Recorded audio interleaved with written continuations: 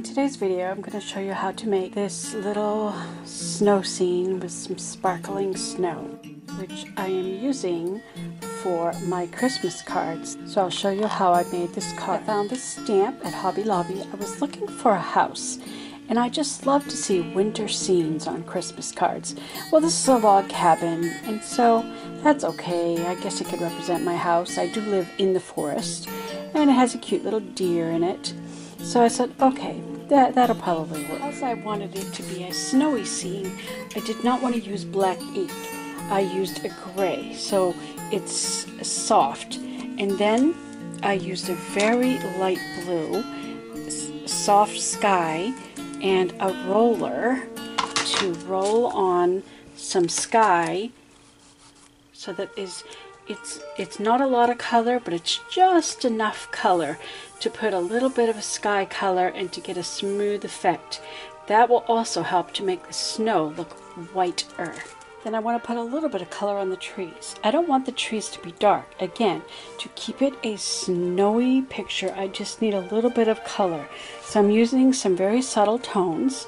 The markers I'm using are Mint Macaroon and Pear Pizzazz. So I put one color on and I just kind of dab it on just a little bit. This color is slightly darker. Just kind of dab it on. This looks like a leaf tree. So I just do tiny little dots. Try not to get it on the snow. This is a pine tree. This color has a little bit more blue in it. You don't have to stamp print so awfully careful. Just kind of dab it. Some tree trunks.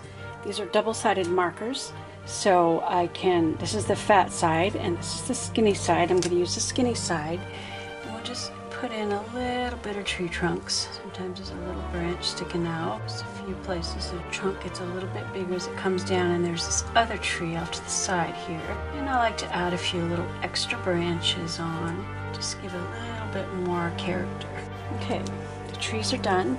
I'm going to use the same color for the little fence and also going to use this color for the little deer. So he's got a little better contrast. So he'll stand out against the white snow. I don't actually have a brown. I have very limited colors, but the color brown is actually a mix of colors. So I'm going to sort of use combinations of these colors. Well, the yellow is really just for the window. A window there in the door and a window over here. And that's all I need the yellow for. I'll start with a lighter color and I'll use the brush side and I'm just gonna put some streaks in here. I'm not coloring it in solid. It's okay if some of the lines are not completely connected because it is a log cabin. See, it looks kind of golden right now. So let's add a little bit of this uh, watermelon wonder. Any, any kind of orange will work very gently. I'm not pressing hard. I'm just sort of making lines because it is a log cabin. See now it looks a little bit browner. I'll use this dark color and I'll use the skinny side. Again, just draw lines. I think I want to make a little bit more shadow on the left side because there's going to be more shadow on the eave there. And I'm just going to make some thin lines. I'm doing this very loose like, not doing continuous lines, just I'm just sort of streaking it on. I'm going to add just a little touch of red just to make it look a little warmer. Just sort of patching it. Now for my door use my darkest color, frame the door. This is not black. It might have the effect of being black, but the color is actually fresh fig. It's in the brown fig. Okay, now our chimney. Chimney should have some color on it, and that's a little bit too red, so let me just add a little bit of this uh, orange color. That's all with markers. Now I'm going to use a color pencil a very soft blue and with a very light touch. I add a little bit of shadows in the snow just a little bit. Oh yes don't forget the roof. Need to have some shadows on the side of the roof. Okay that's all the color we need. Now for the glitter. Because I'm making several cards to do my Christmas cards I do four on a sheet at a time. So I stamp my image into four places and then I kind of work on them systematically.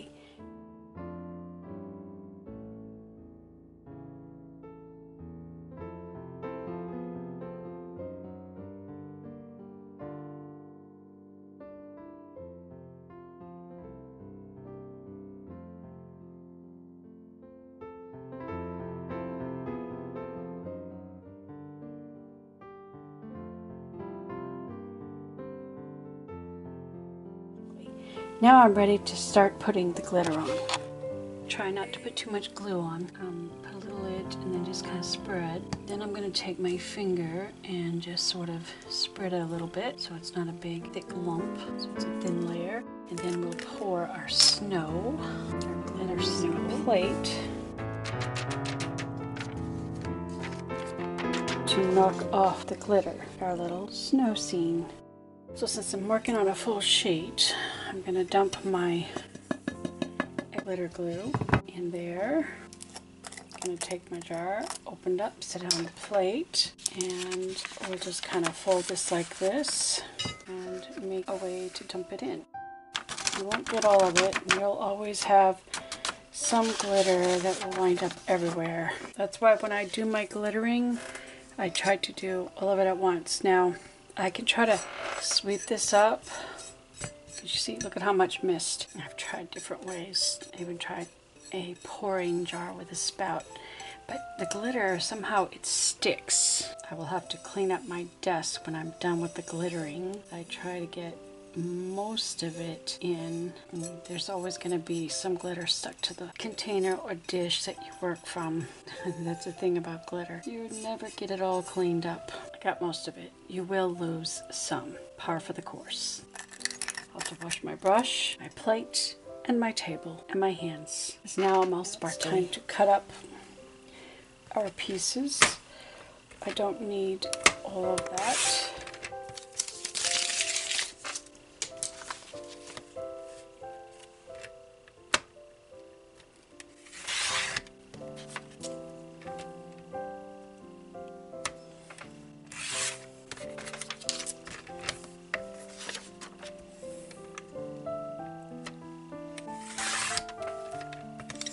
I'm not being exact about the cutting of this because I am going to be putting another paper behind it. I just need to make sure that the square is big enough to fully cover underneath my circle.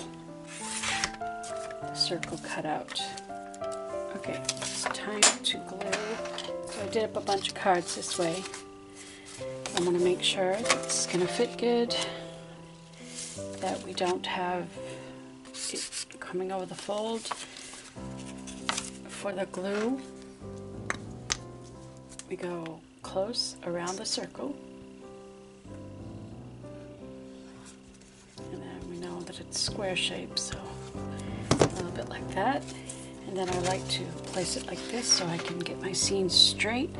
I want the fence and the edge of the circle. I want the deer and it's part of the tree will be cut off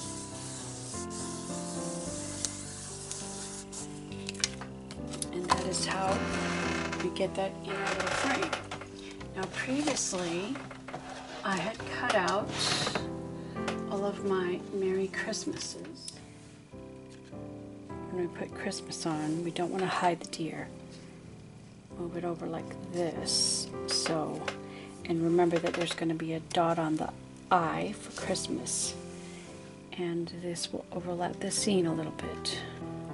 And they're a bit of a pain to glue on because it's a lot of detail. You have to put the glue on the back. Try not to get too much glue on the front of it because then it takes off the shininess of the, uh, the, this, the metallic look.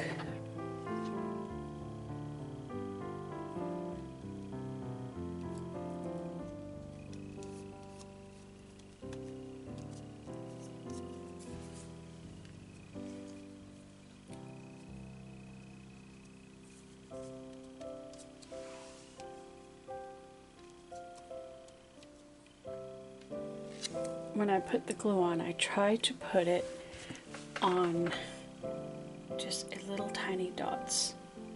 Try not to put a big, large glob. If you do get any big globs, just kind of brush it. But try not to get your gluey hands. Okay, I do have a little bit of glue on top. I'll show you how I'll deal with that. I use a brush. Try to remove a little bit of this glue that's on top. Try not to mess up everything. My brush is only slightly wet and I keep wiping it on a rag because I, I don't like the way this glue messes up the wonderful shininess of the paper. That cleans it up pretty good. Make sure it's all stuck down. Now I need to get my, my dot for the eye, which I have in a little baggie where I cut out all of them. I have my little dot for the eye, and I'm using a pin to hold it. Little dot of glue where that's going to go. Just a dot. And then I can place it. Now the eye is dotted. So it says, Merry Christmas. I like the shiny stuff. I like the glitter and gold. Now I just have to finish the inside of the card. I just need to put a card inside the message if you, you don't have to have two messages in another card. And then the card will be done.